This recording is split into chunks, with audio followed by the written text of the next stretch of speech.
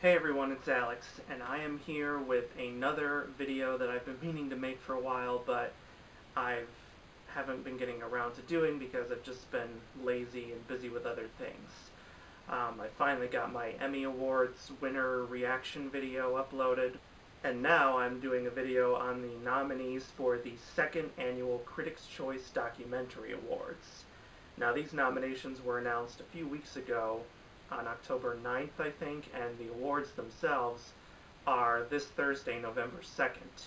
Um, it's Halloween as I'm recording this, and the video will probably be up on my YouTube channel by Wednesday, November 1st, so that means the awards are the day after. But uh, these awards are not going to be televised, I don't think. I know last year's inaugural Critics' Choice Documentary Awards were not televised, but I do know that like last year, this year's Critics' Choice Documentary Awards will be hosted by uh, Penn Jillette from Penn and Teller fame, and basically all these categories here are to honor film and TV documentaries.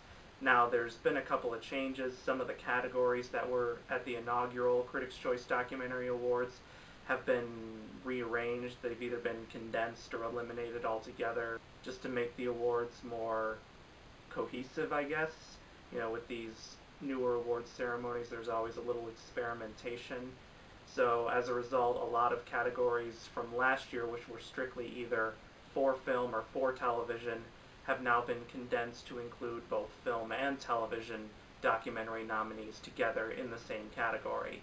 There are a few categories that are primarily film or primarily television related, but now we've got mostly condensed nominations. So as a result, some of the categories will have a ton more nominations than they did the previous year.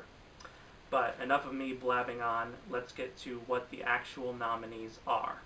So here are the nominees for the second Critics' Choice Documentary Awards. Best Ongoing Documentary Series TV or Streaming American Masters Frontline Independent Lens POV, 30 for 30, Vice, Best Limited Documentary Series, TV or Streaming, The Defiant Ones, Five Came Back, The Keepers, The 90s, Planet Earth 2, The Vietnam War, Best Song in a Documentary, Best I Can from Dina, performed by Michael Cera and Sharon Van Etten. Dancing Through the Wreckage from Served Like a Girl, performed by Pat Benatar. Jump from Step, performed by Cynthia Erivo. Prayers for This World from Cries from Syria, performed by Cher. Tell Me How Long from Chasing Coral, performed by Kristen Bell. Truth to Power from An Inconvenient Sequel Truth to Power, performed by One Republic. Best First Documentary California Typewriter Doug Nichol Kedi Ceyda Torun Nowhere to Hide Zaradasht Ahmed Step Amanda Lipitz Strong Island Yance Ford Whose Streets Sabah Folayan and Damon Davis. Best Music Documentary Clive Davis, The Soundtrack of Our Lives, Contemporary Color, Eagles of Death Metal, Nos Amis, Our Friends, I Called Him Morgan, Long Strange Trip, Rumble, The Indians Who Rocked the World, Best Political Documentary, Abacus, Small Enough to Jail, City of Ghosts, Dolores, 11816, an inconvenient sequel, Truth to Power, The Reagan Show, Best Sports Documentary, AlphaGo, Disgraced, Icarus, Speed Sisters, Take Every Wave, The Life of Laird Hamilton, Trophy, Most Innovative Documentary, Casting JonBenet, Dawson City Frozen Time, Karl Marx City, Kedi, Last Men in Aleppo, 7852.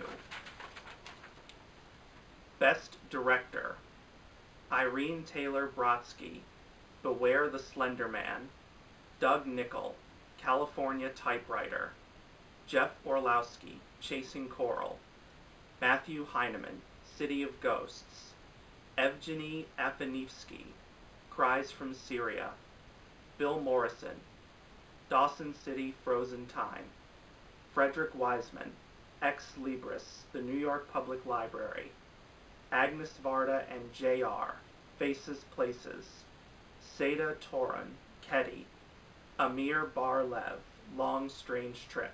Best Documentary Feature, Abacus, Small Enough to Jail, Beware the Slender Man, Bright Lights starring Carrie Fisher and Debbie Reynolds, California Typewriter, Chasing Coral, City of Ghosts, Cries from Syria, Dawson City Frozen Time, Eagles of Death Metal, Nos Amis, Our Friends, Ex Libris, the New York Public Library, Faces Places, Jane, Kedi, One of Us, Spettacolo, Strong Island.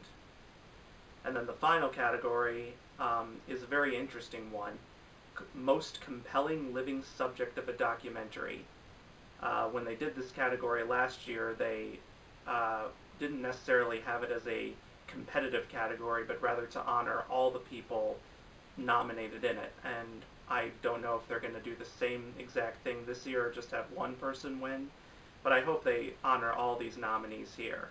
And the nominees are The Cats of Istanbul, Kedi, Etty, One of Us, Al Gore, An Inconvenient Sequel, Truth to Power, Laird Hamilton, Take Every Wave, The Life of Laird Hamilton, Dolores Huerta, Dolores, Gigi Lazzarato, This Is Everything Gigi Gorgeous, The Sung Family, Abacus, Small Enough to Jail. And those are the nominees for the second Critics' Choice Documentary Awards. Now, admittedly, I have not seen any of these documentaries yet, so I truly can't say what I think about them quality-wise, but I have heard about several of them. Uh, for the ongoing documentary series, I've certainly heard of most of these shows, and I've seen a few episodes of them from time to time. For Best Limited Documentary Series, uh, they all sound very interesting. um, I've heard about most of them. Five Came Back is a mini series on Netflix about several Hollywood directors who served in World War II. The Keepers, I've heard many great things about. I believe that's about a nun who was murdered after she uncovered evidence of sexual abuse and was going to go public with the news and expose the abuser, but was killed in order to cover up the abuse.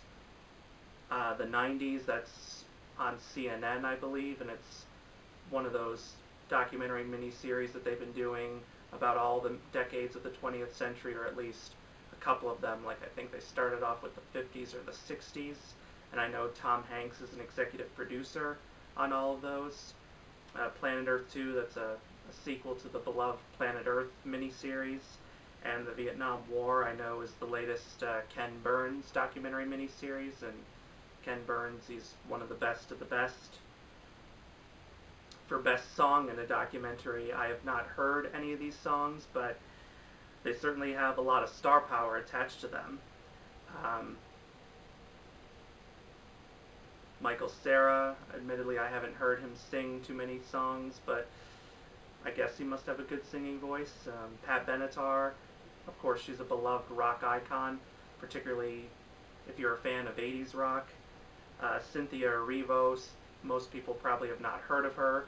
I have. She won a Tony Award for her performance in the Broadway revival of the musical The Color Purple. She's got several film projects coming in the near future. Uh, next year she'll be making her major film debut in the movie Widows alongside Viola Davis, and I'm definitely looking forward to that movie. Cher, of course, is a big icon. Kristen Bell, you know, she does have a good singing voice because she voiced and sang the role of Anna in Frozen. And then One Republic, not really a huge fan of One Republic, but there's artists out there that are far, far worse. Justin Bieber. now, in terms of the rest of these documentaries, I have heard of some of these, mainly from seeing them on Rotten Tomatoes, because every week I always go on Rotten Tomatoes to see what the ratings are for all the new movies coming out.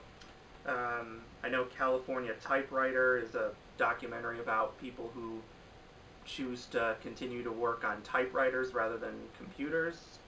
Um, Kedi is about street cats in the city of Istanbul, Turkey. Uh,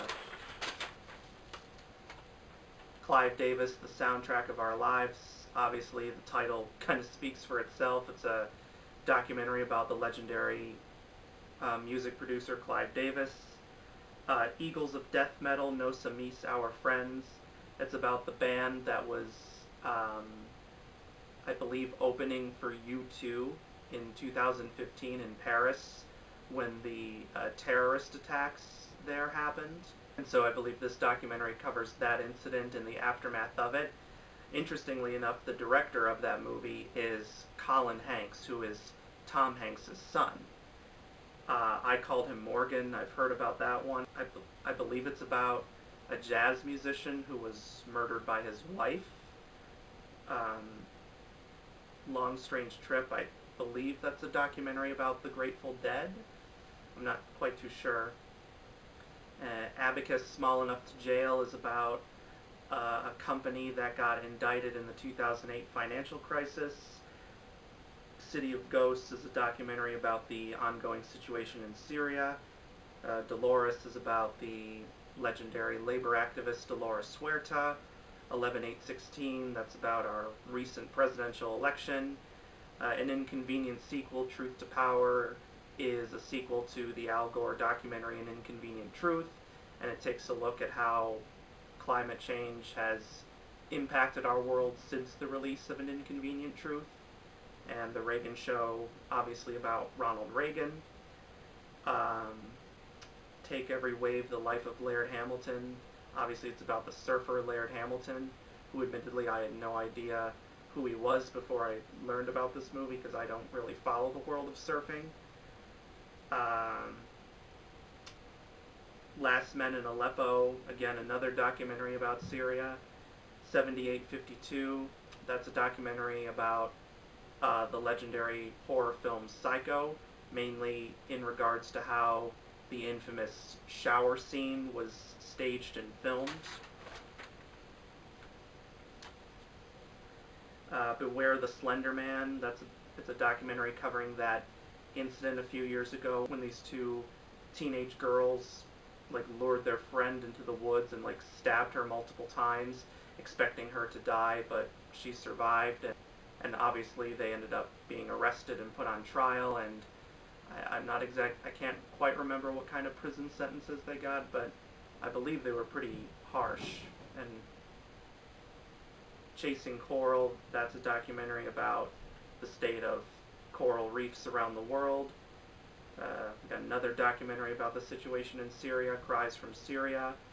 Ex Libris, the New York Public Library, pretty self-explanatory there about the New York Public Library. Uh, Frederick Wiseman, very acclaimed documentarian who directed that movie. He received an honorary Oscar last year for Lifetime Achievement. And with Faces Places, one of that movie's directors, Agnes Varda, she's receiving a Lifetime Achievement Oscar this year. Jane, that's a documentary about Jane Goodall.